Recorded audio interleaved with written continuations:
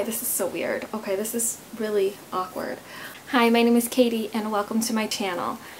Remember the time I said I wanted to lose weight? Okay, so let's start with where I'm at weight loss wise, fitness wise, things like that.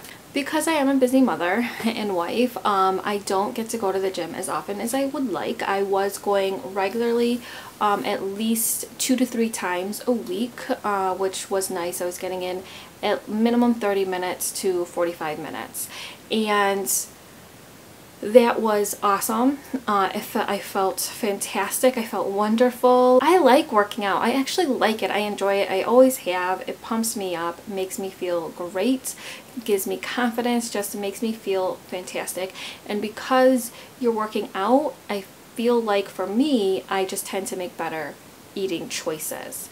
Um, now, these last couple of weeks I've not been able to go to the gym at all because life has just been really busy. I was traveling and then I had some family come into town so it's just been really really busy uh, but no complaints because it's always awesome to see family. As far as the food side of things I am being more aware of what I'm eating. I am not trying to snack on everything around me because I'm just so busy that I don't typically eat a meal. Like, I just don't. I'll make food for my daughter, I'll make dinner for my family, but I'm just always doing something. I'm either cleaning up, I'm with my baby, or I'm helping my daughter.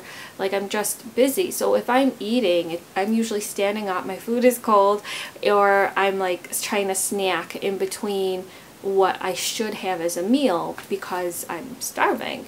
So now I'm trying to be more aware and not just snack on things. If I'm going to snack, I'm making sure that I have fruits and vegetables handy or some popcorn. Just trying to be more aware of what I'm eating. I've been doing that for about two to three weeks now and there is going to be a there is a difference like it's very slight but like my clothes are fitting me a little bit better. This shirt that I have on used to be actually be a little bit too tight and I'm wearing it today. I, I guess that's kind of what I needed was just to eat better and eat, make sure I was eating. Um, so that's good and then hopefully I can get back on track with the whole fitness thing because that would be fun. It's just a nice outlet for me. I love it. It's it's just great and it's a great way for me to just get time for myself um, which I don't always get. Reason I want to lose weight. Okay, so big news. I am going to South Korea this October, uh, late October. I am going to be meeting my twin sister there. We're going for our birthday and I'm just so excited. We're going to actually spend our birthday together and we are going to just visit the place that we were born. So um, I am adopted, actually, to be more exact. I was adopted with my twin sister and our older brother. And so when we go to Korea this October, we are going to actually meet our biological parents. And I um, just kind of want to make sure that I feel comfortable and confident in my own skin. I'm not looking to be a size zero, even a size two. I just want to feel the most confident and the most healthy I can because I'm meeting my birth parents. I just want to make sure that I feel good when I meet them. I don't know if that makes sense. Like I know like it's hard to explain because I was trying to explain it to one of my friends and she's like, who cares what they think? She's like, my mom sees me and she always tells me I'm fat and I'm like, okay, yeah, but you know your mom. Like you know who she is. You know how she will react and you know that she's saying these things not to hurt you. And I'm not thinking that I'm going to go meet my biological mom. She's going to be like, yo, you fat, you know? I don't think that. But I just, like say you're going on a date, right? It with someone that you really, really really have like this huge crush on and you finally get to go on a date with them. Wouldn't you want to make sure that you look and feel your best? You'll go get your hair done you'll put your makeup on you'll make pick out your outfit. Maybe do like a few exercises before you go out. Like maybe monitor what you eat like even before am i weird like is, am i the only one that would like think that way i don't know but like think of it that's how i think of it like it's like getting ready for that date and you want to just feel your best. So my adoption story, um, okay, how do I even start? I am part of a family with multiple adoptions. I have a very large family with six kids. Alright, let's start from the beginning. My adopted mom, I'm just going to call her mom because that's what she is to me. My mom and dad, they had three children of their own. They had two boys and a little girl. They wanted to have an even larger family.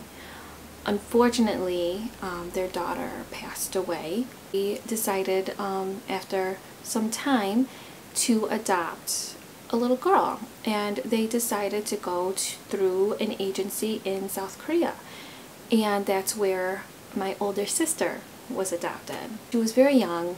She had uh, some medical issues and she, my parents actually had to pay for some of her uh, medical care and then she was brought um, to the U.S. Almost two years later, they decided they wanted to adopt more children because, you know, three wasn't enough. and they decided that they wanted to have twins because, you know, why not? And so my mom was looking into adopting twins and they went through the same agency that they went through with my older sister and the agency approached my dad and my mom and they said we do have twins but they do have a brother an older brother and we would like to keep them all together. If you don't adopt them then we'll probably just separate the brother from the sisters. And my parents made the decision to adopt all three of us so at the age of two years old, my twin sister and I were adopted along with our older brother. And we were put on a plane with other children who were being adopted out and sent to JFK Airport. Or actually, was it JFK or LaGuardia? I think it was actually LaGuardia. I don't remember. Does that matter? no. My parents and my two older brothers came to the airport. My older sister was with, because she was um, young, she was two as well, and I think they didn't have room in their car, um, was with my grandma.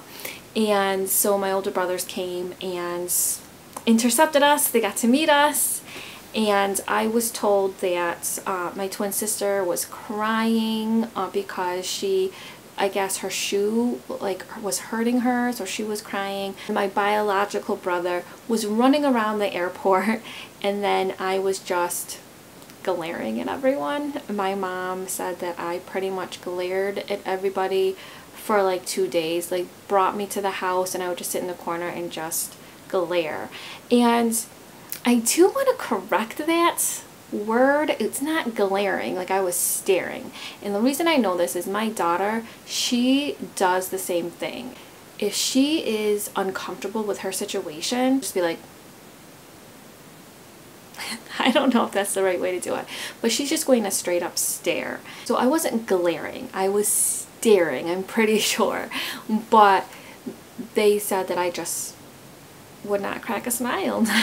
And they had to understand though like I think I don't know if I've even like mentioned this to my mom but I'm sure like it had to be disconcerting. Not only are you you know you're a little kid you're two years old you're getting on an airplane and you're getting off you're going into a whole other country you're going into an airport that you know that in itself is just mind-boggling. But then you're like meeting like white people for the first time. Like I probably had never seen a Caucasian person ever and now they're like in my face all the time. So yeah, uh, we are a family of multiple adoptions which at the time, because it was the 80s, was very uncommon. My mom told me that reporters would just hound us. Uh, we were in the newspaper, uh, we had our pictures taken constantly. My parents used to um, be friends with other parents of Korean adoptees and one of the parents she has two sons. One of them is a Korean adoptee, and I think she actually adopted him around the same time as we were adopted. And she would come over with her sons and help babysit on occasion. And she told me that we had a fenced in yard and reporters would try to jump the fence and climb trees just to take pictures of us in our backyard. She would have to block us and yell at them to just leave us alone and let us play. So it was quite new and even today, like I know Angelina Jolie was like made people go, whoa, what is she doing? Look at this lady, multiple adoptions, adopting people all around the world. Like my mom was doing it first. like my mom was like the original Angelina Jolie. She, you know, adopted three kids at the same time. Like, who does that? And we were all around the same age. So we had my older brothers who, uh, my oldest brother is 10 years older than me and then the next brother is 5 years older than me and then my brother who is 2 years older than me and then I have my sister um, who is uh, like 10 months older than me and then my twin a minute older than me. So at one point, my mom had four toddlers. That's a lot. My daughter is so good. She's so, so good. She's just a baby angel. But I could not imagine having four of her. Like, that's just so much. That's so much. So my grandma would step in and she would help thankfully because yeah that daycare bill would have been insane when people usually hear that story um, they usually say, oh my gosh, your mom's a saint, or she must be a saint. And I'm like, she's okay. She's my mom. She's human. So I was adopted into a family of Caucasians. I have white parents and their two sons, right? And then there's the four of us, uh, Korean adoptees. We are a, um, a multiracial family which also was rare in at that time in the 80s. Obviously, we were like you know, the redheaded stepchildren. Like, it was just very apparent that we did not look like our parents. We didn't look like our older brothers. So as soon as we could talk, we would observe that we didn't look like, you know, anyone.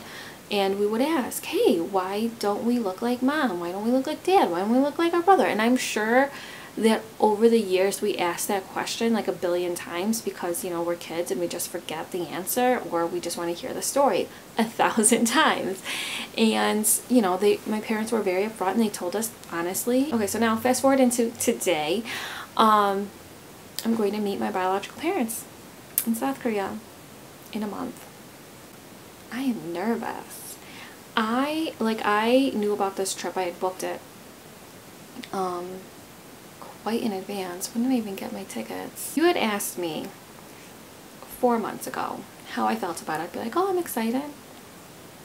If you asked me three months ago, I'm like, I don't really know. And now you ask me, I'm like nervous. I don't know what I'm nervous about. You know what? Okay, so the most nerve-wracking part of my trip is already out of the way. Telling my mom was the hardest. I was just really worried that she would think that I'm going to meet my parents and just forget she, you know, raised us. I'm worried that she will have any moments of sadness and worry um, or any moments of concern for how I feel about her and how my twin feels about her.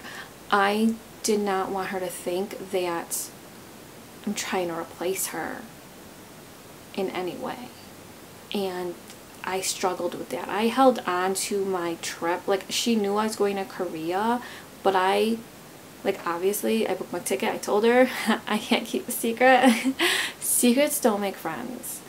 Um, but I finally told her and I was so worried but I just I wanted to really make sure. Alright so it stopped recording and I didn't realize it. Um, basically what I was saying is I was really nervous to tell my mom but I told her and she took it really well. I checked with her and then I double checked with her and I triple checked with her and truly she's fine. She just wants to make sure that the experience is good for me. So, um, she's really just more concerned for me and my twin. So I think that's that's great and it makes me very relieved. Um, so now um, we go in like a month to meet our biological parents and I don't know what to expect. I don't really have any expectations other than I know I probably at some point will cry. I do try to hold back but yeah I just I can't help myself. I just I can't watch the news without tearing up. I just am that person. But I am excited. I'm just incredibly nervous and I will hopefully be able to let you know how it goes. I do want to record while I'm there um, because it's just such an awesome experience. Why not document it? Alright, well if you enjoyed this video, give it a thumbs up. Don't forget to subscribe and ring the notification bell to be notified of future videos. And thank you so much. Have a great day.